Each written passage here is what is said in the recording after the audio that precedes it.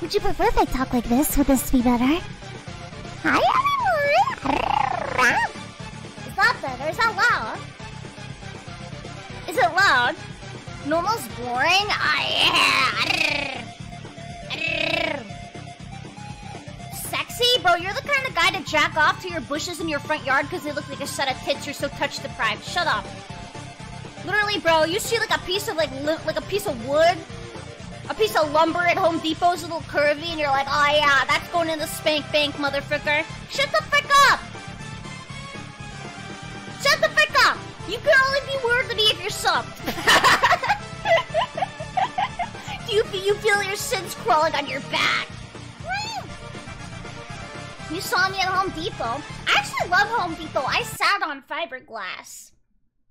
They call me fiberglass minus the L.